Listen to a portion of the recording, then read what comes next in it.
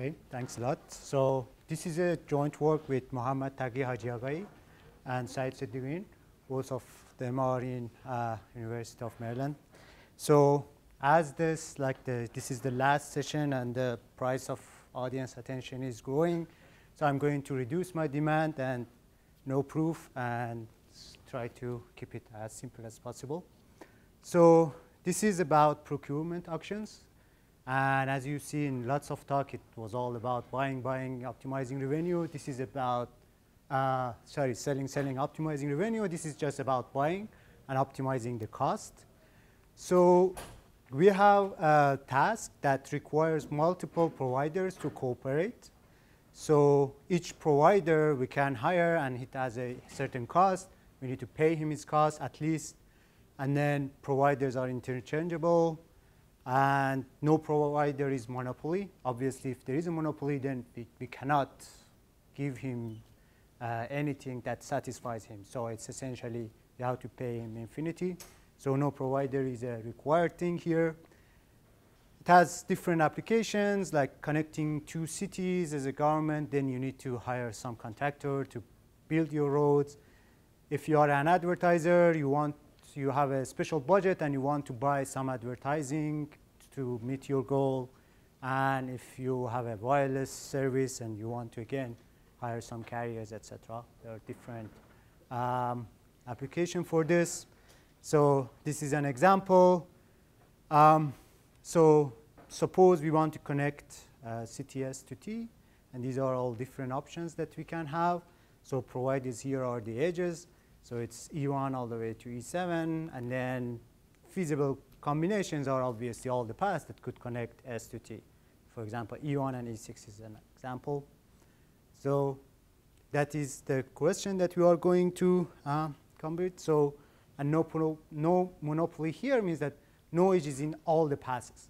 So if there is an edge that is all in the passes, then we cannot buy him. So he, he can demand infinity from us. So formal formulation, we have a, a, set of providers, each performing that part of the task. That's our ground set. Then we have a capital F, which is the collection of all the subsets that can do the task fully. And then no, no monopoly means that for each provider, there exists at least one set, feasible set, that that provider is not in that set. And then obviously each provider has a cost C of E. So in our termination, this last example is just as simple as this. Um, so what the auction does, so each provider submits uh, the bid, then the auctioneer receives all the bids, and then a winning set will be determined, and then we have to pay to all the providers. Now, we require that the auction should be truthful, meaning that the submitting your actual cost is the best response for you. And then if you're, I'm sure that all of you are familiar, the payments are essentially the critical values of the uh, bidders or the uh, maximum bid that the winners can still win. So here in this example, suppose C1 is, uh, is less than C2. So if C1 is less than C2, then the critical value is just C2, meaning that as far as this guy cost uh, is C2, then he wins. So we have to pay him C2. Otherwise, uh, it's not incentive compatible, all simple. So now the question is, if you give me a mechanism, how I can uh, evaluate if the mechanism is performing well or not. So the, the measure is obviously the sum of uh, summation of payments. Uh, this is uh, that we, we are going to measure. And then what is the benchmark? So the obvious thing that comes to our mind is that how about the minimum subset uh, uh, with the minimum subset with the lowest cost? And then it turns out easily that it is not possible. So it's the competitive ratio goes to infinity. You cannot achieve that. So we need to have a relaxed benchmark, okay? And then like most of my talk would be about this like relaxed benchmark. But I want to point out before, before going to benchmark is that if you give, give us a good benchmark, then you can define the frugality ratio of a mechanism, which is essentially how bad your mechanism is compared to your benchmark. P here is the benchmark. So in formal uh, definition, it is the supremum over the, all the costs, the total payment of your mechanism over that benchmark. Okay? And then you can generally define the frugality of set system, which is how bad the, the best mechanism can perform. And then you can define the competitiveness of your mechanism comparing to the best mechanism. Okay? So it's been a while, uh, it's been a, a, group of papers that have been evolving this benchmark, uh, and then uh, we're going to review those. So first uh, was started with Aaron Archer and Eva Tardos. They, they defined that, okay, the second cheapest shortest path is our benchmark, which is completely disjoint from the shortest path. Then Anna Karlin and David Kempe came and said these, these are, there are different uh, bad properties about this benchmark. It's probably not very desirable. For example, if you look at here, the shortest path, if you take the shortest path out, then there is no connecting path between do, these two, and then the benchmark goes undefined. So this is that, that Anna Karlin and David Kempe noted that. And then they defined that instead of that, what about we look at the cheapest Nash equilibrium of the first price auction? And essentially, the cheapest Nash equilibrium you can write as a LP. Here, um, US minimize means that you, you're finding the cheapest Nash equilibrium, and then you can easily check. This essentially says that uh, your, there, there is no other set that is better for the buyer, and then this, this, the rest are, uh, should be very clear. This star here means that there is actually one more caveat here that for each edge, for each provider, you need to have like another blocking set, but that's not that important here. Then Edith and uh, Leslie and Paul Goldberg, uh, they said, okay, this is still not as good. There are different uh, bad properties again. And roughly, this is again, the, the, the price of the cheapest Nash equilibrium is dependent on which uh, subset of providers you select. And then they, they said, okay, maybe we should look at the most expensive Nash equilibrium. So this just you replace this with max, and then that stars goes away, and then it's better, so you're getting closer. So now here note that, uh, again, we have the same uh, constraint that, that this is the best for the, uh, for the buyer. But that one still was not as good. So they defined this uh, new benchmark, which is actually much better.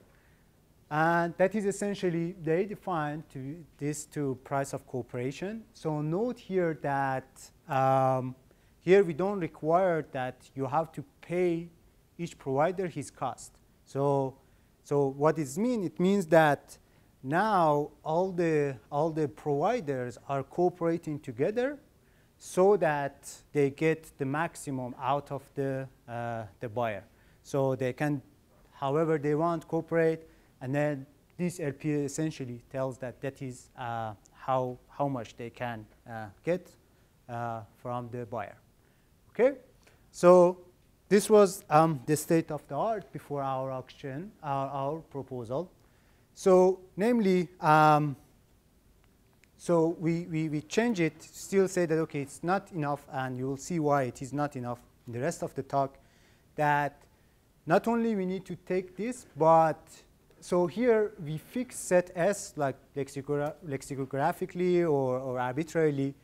But here we say that actually we should take the maximum set S and then uh, and then define our, our benchmark towards that. So so um, so this this like fixing a set turns out to be very problematic and, and we will see why. But when, when, we, when, we, choose, when we take the maximum, th those problems go away. Namely, now our benchmark is monotone, meaning that if a, a cost vector C1 is less than C2, then the, the, the, value of the benchmark is actually less. So if, if someone increases the cost, then the expectation is that you need to pay more, right? So this now holds with this new definition. And also we have this new definition. This, these definitions have been around by, by, by the previous works. And now we also uh, note that uh, this, this new definition is actually smooth as well. So what smoothness means is that if the cost vectors are relatively close, then the difference between the benchmark values are also close. So if you have n providers and someone increases his cost to epsilon, we don't want that benchmark suddenly jumps a lot. So it would be at most n times epsilon. Right? So that was about the benchmark. Now, uh, we, we try to apply this benchmark to different uh, frugal mechanism, uh, namely this vertex cover action that was studied before by the literature. So in vertex cover, we have a ground set of nodes, and then we want to select some subset of nodes so that each edge has at least one node uh, from the selected nodes. Okay, so very simple vertex cover action. So we are actually going to not uh, uh, propose a new mechanism. We analyzed the mechanism of uh, David Kempe, Mahyar Salek, and Christopher Moore. We showed that their analysis for the previous benchmark actually is not correct. And we showed that this, their, their mechanism, the same mechanism would work for our uh, benchmark. And we show the same competitive, uh, uh, the, the, constant competitive ratio of 4 for this mechanism. So these are their, their work. So I'm going to give you some, some intuition about how, how uh, their mechanism work and how the analysis work in this case. So the idea one here is that we run a weighted VCG. So we assign to each node a weight, and then the, the VCG selects the subset of these nodes where the weighted cost is minimized, right? So um, here, for example, you, you see intuitively that node D is actually very important, right? So it's better to select node D than node G, because if you select D, then you are much better off. So this weight intuitively have to be more, uh, sorry, less for, for, the, for the nodes that are more important and less for the nodes that are less important so that VCG select them. This is the first idea. Second idea is that how actually we should assign this weight. Now this, that, that the idea is that, okay, if you're comparing against that benchmark, you need to use that benchmark for the weights. So what you would say, say, okay, I assign weight 1, uh, cost 1 to node D, and all the other costs are 0, and then how the VCG uh, uh, runs, and, uh, and how the, the, and we calculate our benchmark so this value essentially tells the externality that this node occurs if you don't select that node and want it to cover its edges from the other, uh, by the other nodes. So this is the second uh, idea. Now, now we are getting closer to, to how the final mechanism.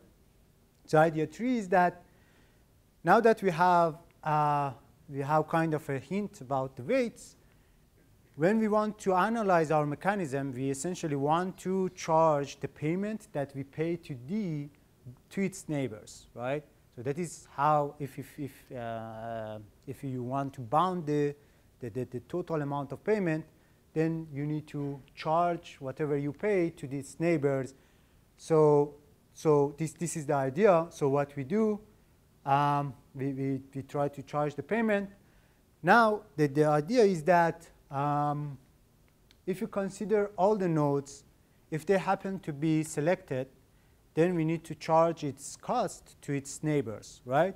And then we want uh, for, for each node the, that the extra amount that uh, we pay to him, that is charged to its neighbor across all the nodes to be the same. So this is, um, this is essentially saying that if this adjacency vector, uh, vector of G, where the weights are some weights that we are going to specify multiplied by V, then that means that this is essentially all the neighbors of the V, are some factors away from the actual weight that we had. So now all of you know this uh, equality. This is essentially the eigenvectors of, of adjacency vector G. So it, the, the turn out to be 1 over this uh, benchmark uh, for, for all the nodes. And then you run the auction, then it turns out that, that the, uh, you, you can bound the, um, uh, the, the extra payment that mechanism does. So this was all about the proof. I hope that you, you get a good intuition from it. It's the work of uh, David Kempe, Mahyar Salek, and Christopher Moore. We also studied another um, example. This is the uh, knapsack auction. So here we have some knapsack with size 10. Each item has a volume, and we want to have at least 10. This is again the, the online advertising setting uses this. Um, now each, each item has a volume and a cost. Now we want to fill the knapsack with, with the minimum cost. So every element, um, same, same idea. We assign to each element uh, weight 1 over its volume. And then this, this is an example to kind of show how we upper bound the, the, the, the payments. Again, we, we charge the critical values to the replacing item. So if you drop one item from the knapsack and you want to replace with others, you need to charge the, the extra payment to the other items. And it, it turns out that uh, that this, this bound is at most uh, square root of 2 times V max, where V max is the maximum volume. And then to lower bound the frugality ratio, this is just an example that I put so that you get the idea how, how this, this lower bounding works. So lower bounding usually, we give an example. So now we have, uh, we have V, so we assume that the size of the knapsack is V max, meaning that uh, we want to fill at least V max. And then we have V max items, each of them has volume 1. And then we have one, uh, one item, his um, volume is V max, meaning that you can either select this guy or all the other guys. And then we assign the cost to be a square root of V max with this guy and 1 for the other. Now, the mechanism has two options. Either it selects Vmax, where we change the cost of this guy to zero, but because the mechanism is truthful, he has to st still select that guy, and by the truthfulness, he has to pay at least square root of Vmax. And then if the mechanism selects not select the Vmax, then it's essentially with, without loss of generality, we can change him, change that one to any other, uh, any other of the volume 1 guys. And then we change that to this, again, by the incentive compatibility, the mechanism how to select all these other guys and then how to pay them at least one. So now we see that mechanism is at least paying uh, square root of Vmax more than the benchmark. So in summary, um, we had a new benchmark uh, for the frugal auctions, uh, for procurement auctions. And then we correct the analysis of the David Kempe, Mahyar Salek, and Moore. And then we show that the same mechanism has a competitive ratio 4 to actually randomize mechanism even. And then we have a knapsack auction for the upper bound of 2 square root of, square root of 2 times max and then lower bound of V max. And that's it. Thanks a lot.